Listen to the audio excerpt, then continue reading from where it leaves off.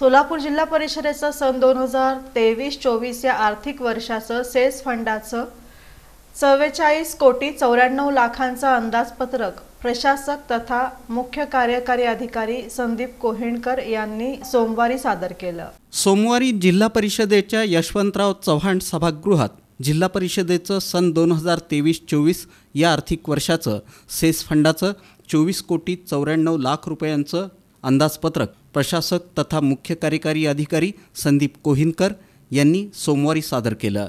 दरम्यान यंदाच्या वर्षीचं बजेट जिल्हा परिषदेच्या पदाधिकाऱ्यांना विना प्रशासक आणि प्रशासनाच्या वतीनं सादर करण्यात आलं.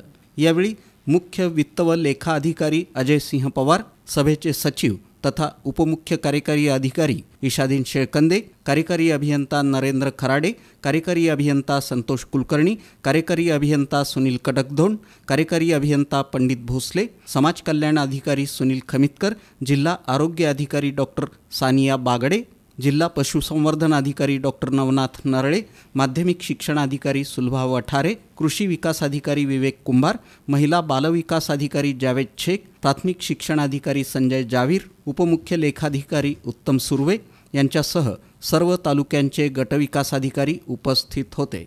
सन दोन हजार तेवीस चोवीसच्या मूळ अंदाजपत्रकातील कृषी विभागासाठी तीनशे सत्तर दशलक्ष तीनशे सत्तर लक्ष इतकी तरतूद केलेली आहे.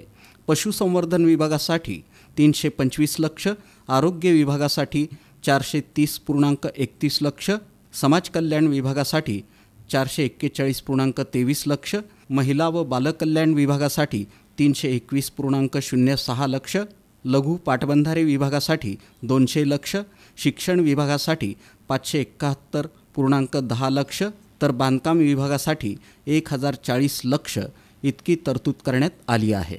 आरोग्य चार कोटी तीस लाख रुपये शिक्षण पाच कोटी एकाहत्तर लाख रुपये महिला कल्याण तीन कोटी एकवीस लाख रुपये ग्रामीण कार्यपुरवठा दोन कोटी तीस लाख रुपये शेती तीन कोटी सत्तर लाख रुपये पशुसंवर्धन तीन कोटी पंचवीस लाख रुपये समाज कल्याण चार कोटी एकवीस लाख रुपये पाटबंधारे विभाग दोन कोटी आणि बांधकाम दहा कोटी चाळीस लाख रुपये. असं आपण चव्वेचाळीस कोटी चौऱ्याहत्तर लाख रुपयाचं बजेट सादर करत आहे जिल्हा परिषदच्या सर्व अंदाजपत्रक तयार करण्यास सर्व कार्यप्रमुखांनी खूप अं, मोठे सहकार्य केलं. मी ज्या वेळेस बैठक घेतल्या त्याच्यावेळेस चांगल्या स्कीम चांगलं प्रेझेंटेशन मागचे काही अनुभव लक्षात घेता सगळ्यांनी खूप चांगल्या गोष्टी शेअर केल्या.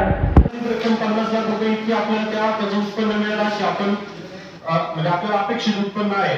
वाढीव उत्सर्ग जो आहे जिल्हा परिषद आयुक्तच्या एकशे पंचावन्न खाली मिळतो. तो साधारणतः एक कोटी रुपयापर्यंत मिळेल असं आपण अंदाजित केलेला आहे. मुद्रण शुल्क अनुदान तेरा कोटी रुपये मिळण्यास आपण अंदाजित केलेलं आहे.